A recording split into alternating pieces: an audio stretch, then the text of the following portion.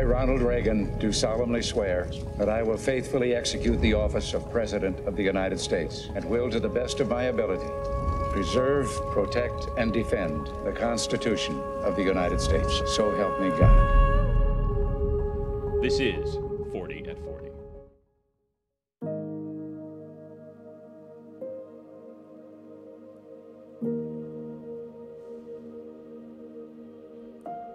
Mr. Speaker, the President of the United States.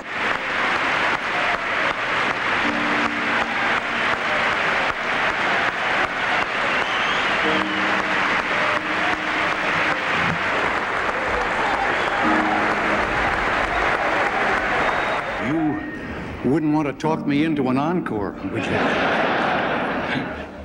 Mr. Speaker, Mr. President, distinguished members of the Congress, honored guests, and fellow citizens, I have no words to express my appreciation for that, that greeting.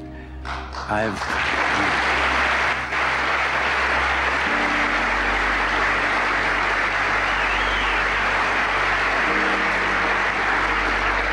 I have come to speak to you tonight about our economic recovery program and why I believe it's essential that the Congress approve this package, which I believe will lift the crushing burden of inflation off of our citizens and restore the vitality to our economy and our industrial machine. First, however, and due to events of the past few weeks, will you permit me to digress for a moment from the all important subject of why we must bring government spending under control and reduce tax rates?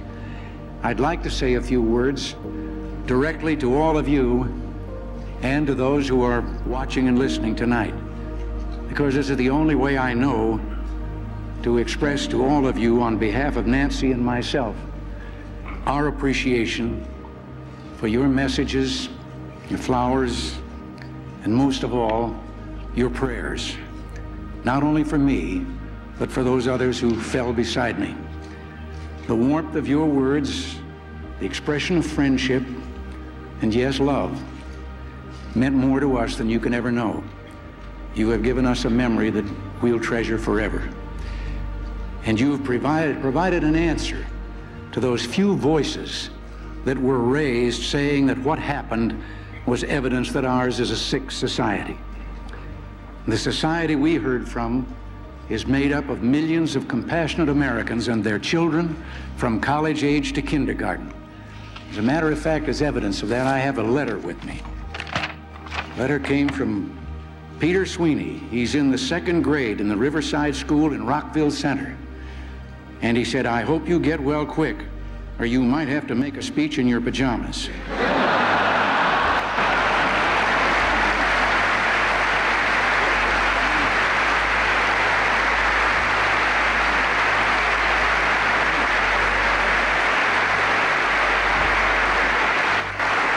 And he, he added a postscript.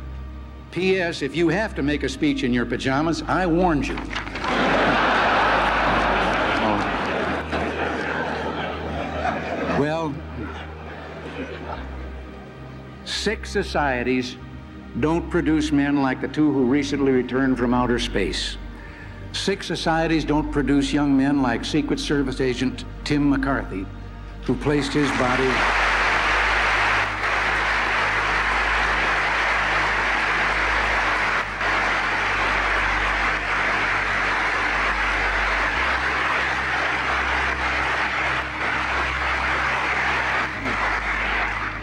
Placed his body between mine and the man with the gun simply because he felt that's what his duty called for him to do.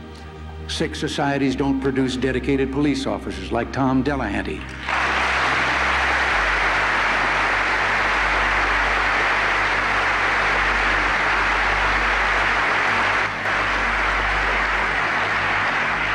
Or able and devoted public servants like Jim Brady.